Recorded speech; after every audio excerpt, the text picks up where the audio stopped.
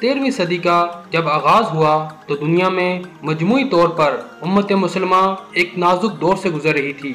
इसी असना में दुनिया के नक्शे पर एक नई सल्तनत उभरना शुरू हुई। चंगेज खान की क्यादत में मंगोलिया से ताल्लुक रखने वाली एक खूनखार फौज ने जब अपनी सल्तनत की तोसी के लिए दूसरे इलाकों पर जलगार की तो वो एक तरफ़ मशरकी यूरोप से भरते हुए वस्ती यूरोप तक पहुँचे तो दूसरी तरफ़ साइबेरिया बड़े सगीर, चीन और खिता फारिस तक अपनी ताकत का लोहा मनवाने में जल्द कामयाब हुए। मंगोल फौजों ने जुल्म और बरबरीत की जो दास्तान रकम की, वो रहती दुनिया तक अपनी मिसाल आप हैं। मंगोलों के मुजालिम के आगे दुनिया की तमाम बड़ी सल्तनतें दम तोड़ रही थीं। दूसरी तरफ़, सल्तनत ख्वारजम ने खरासान, ईरान, शाम और इराक में आले सलजोक के बेशतर मकबूजात को फतह कर लिया था। उस वक्त इनकी कुत ओज शबाब पर थी। चंगेज खानी तूफ़ान ने अपनी तमाम होलनाकियों के साथ सल्तनत ख्वारजम का रुख किया और इसको पाश पाश कर डाला। इस सल्तनत की तबाही के बाद वहाँ पर मौजूद तुर्क कबीले किसी महफूज जगह की तलाश में हिजरत करने लगे। इनमें ज़्यादातर कबीले चरवाहे और खाना बदोश थे। जहाँ सरसब्ज इलाका और पानी नज़र आया, वहीं खेमा गाड़ कर डेरा डाल लिया। इन तुर्क कबीलों में से बाज ईरान और शाम पहुँचे, जबकि कुछ ने मिस्र की जानब हिजरत की। इन तुर्क कबीलों में से एक कबीले का नाम काई कबीला था। काई कबीला बाकी कबीलों से कुछ बड़ा और ताकतवर था। ये नहायत जंगजू कबीला था। इस कबीले के सरदार सलमान शाह थे। काई कबीला सलमान शाह की सरबराही में अपने वतन खरासान को छोड़कर मुख्तलिफ़ मुल्कों में घूमता हुआ शाम की तरफ़ जा रहा था। इसी असना में दराय फरात अबूर करते हुए सरदार सलमान शाह डूब गए और जहाँ पर ना हो सके। सलमान शाह के चार बेटे थे, सुंगुर तकीन, गुंदोगदो अरतगरल और दूंदार। सलमान शाह की वफात के बाद काई कबीला मुंतशिर हो गया। सुंगर तकीन और गुंदोगदो अपने अहल खाना और बहुत से साथियों के हमरा अहलत चले गए।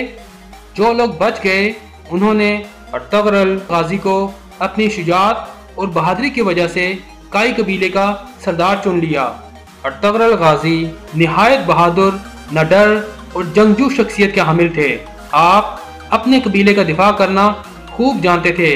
लिहाजा आप अपने छोटे भाई, दुंदार और तकरीबन 420 घरानों पर मुश्तमिल लोगों के हमरा एशिया कूचक तरफ़ रवाना हुए।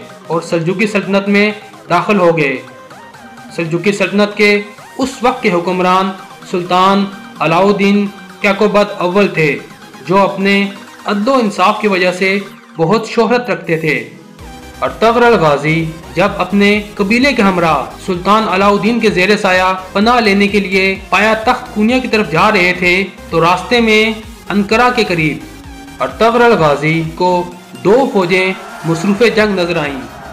अर्तगरल गाजी किसी फरीक से वाकिफ ना थे, लेकिन ये देख करके इनमें से एक तादाद के लिहाज से कमज़ोर और दूसरा कवि है अपने सवारों के मुख्तसर दस्ता के साथ, जिनकी मजमू तादाद सिर्फ़ चार सौ चवालीस थी, कमज़ोर फरीक की हमायत के लिए बढ़े और अपने इन थोड़े सिपाहियों के साथ मुखालिफ फ़ौज पर अचानक और बहुत तेज़ हमला कर दिया।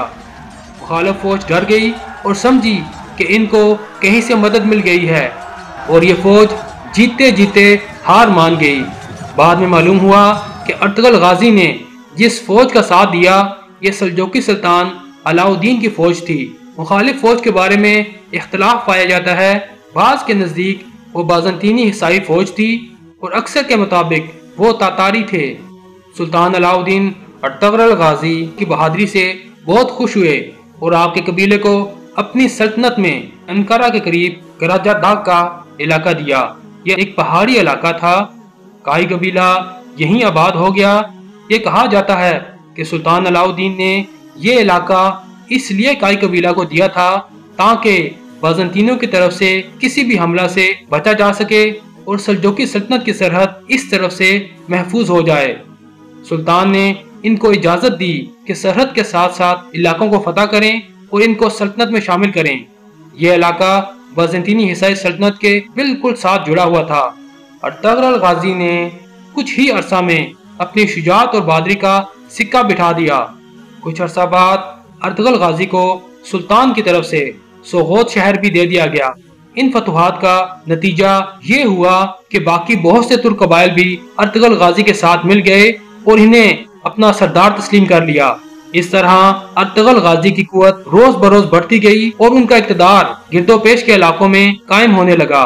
सुल्तान अलाउद्दीन के लिए एक जागीरदार का इस तरह कुत और इकतदार हासिल कर लेना तशवीश का बायस होता, लेकिन एशियाई कुचक में दौलत सरजोकिया अंदरूनी इख्तलाल और उमरा की बगावतों के सबब जवाल की आखिरी मंजिल में थी। अगर चेकूनिया में सलाजका रोम की कदीम शान शौकत अब भी नुमाया थी, ताहम हुकूमत का दायरा बहुत महदूद रह गया था। एक तरफ़ तारतारियों ने कई इलाकों पर कब्जा कर लिया था तो दूसरी तरफ़ ईसाइयों ने कदीम बाजंतीनी सूबों के अक्सर हिस्से वापस ले लिए थे। इसके अलावा मुतद सलजोकी सरदारों ने खुद मुख्तार हुकूमतें कायम कर ली थी। सरहदी इलाकों में जंग का सिलसिला अमूमन जारी रहता था, और तातारी हमलों का खतरा कभी दूर नहीं होता था। ऐसी हालत में अर्तगरल जैसे दलेर सरदार और नायब के फतवाहत से अलाउद्दीन को बजाय तशवीश के एक गुना इतमान नसीब हुआ और उसने अर्तगरल गाजी को मजीद इनाम अता किए। चुनाचे जब जनी शहर और भरोसा के दरमियान एक जंग में अर्तगल गाजी ने सुल्तान अलाउद्दीन के नायब की हैसियत से तातारियों और बजंतीनियों की एक मुतहदा फौज को शिकस्त दी तो सुल्तान ने इसका सिला में इसके शहर को भी अर्तगरल गाजी की जागीर में दे दिया और पूरी जागीर का नाम सुल्तानूनी रखा। नेज अर्तगरल गाजी को अपने हरावल दस्ते का सपा सलार मुकर किया। इस वसी इलाके में बकसरत चरागाहों और जरखेज जमीनों के अलावा मुतद किले भी थे, लेकिन सुल्तानूनी के अक्सर हिस्सों पर खुद सर अमीरों का कब्जा था और इस जागीर पर अपना तसलत कायम करने के लिए अर्तगरल गाजी और उनके बाद उनके बेटे उस्मान गाजी को मुद्दतों जंग करनी पड़ी। बारह और बास के नज़दीक बारह में अर्तगरल गाजी ने नबे साल की उम्र में इंतकाल किया। अर्तगरल गाजी की जोजा हलीमा खातून सलजोकी शहजादे गयासुद्दीन मसूद सानी की बेटी थीं।